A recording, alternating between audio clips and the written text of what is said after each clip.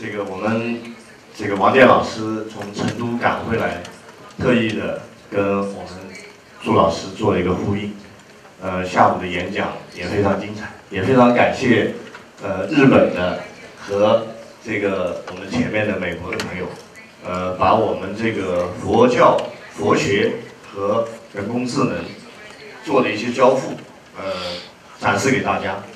那么今天在国内呢？呃，其实我是一九呃二零二零一三年开始真正的认识这个呃机器人。其实，在过去可能机器人这个概念，它只是自动化，只是这个我们的很多大量的这个计算机技术的一些应用。在一零年的时候呢，当时中国做了这个呃世博会。世博会的时候呢，我们有了很多的多媒体的展示。那么我们在中国呢，很多寺院现在已经开始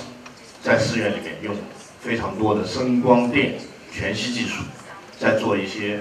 整个我们呃虚拟现实等等一些技术来展示我们的佛学，展示我们整个佛经里面的所有的故事。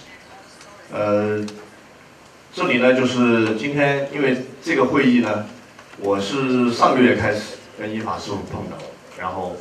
开始用浙江省机器人协会这个平台参与进来的。那么这里面也是非常感谢依法师傅。呃，我觉得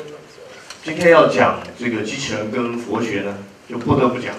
我们中国的一个很具代表性的一个呃人工智能的技术贤二。那么贤二今天来了吗？贤二他本人没来。它本身的这个呃具有一个机器人形象的这么一个具体的没有来，但是贤二是一个这个公众号，我关注它已经从它开发到现在已经好几年了，那么它的智能化也一直在提升，这个是它的公众号，大家可以扫一下，呃这个账号主体呢，它属于我们北京的龙泉寺，那么我我这里不是。这个在我只是在介绍，就是我们佛学跟呃科，就是跟科学、跟人工智能的一个对接，因为龙天寺做的非常不错，他们把这个呃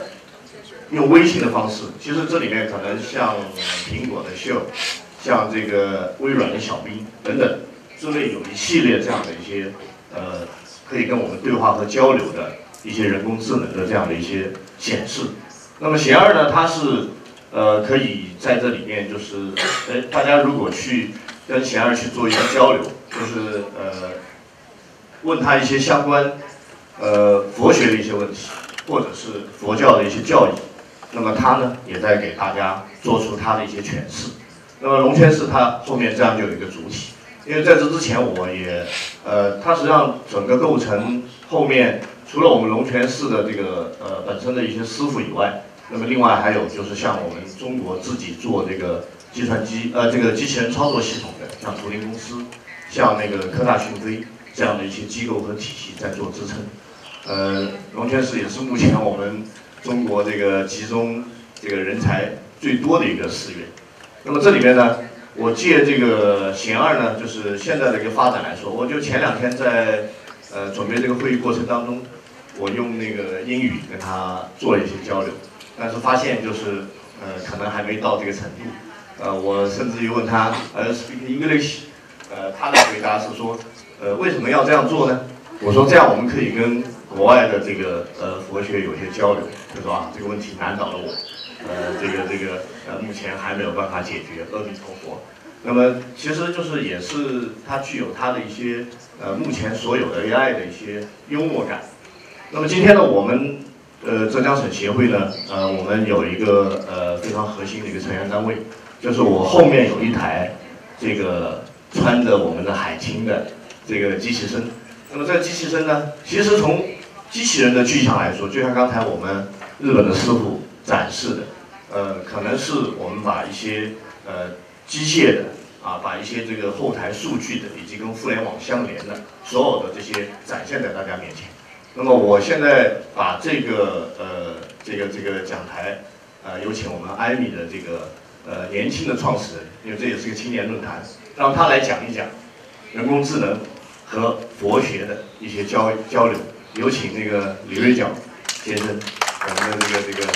呃艾米机器人的创始人。艾米机器人目前也主要在这个海外领域。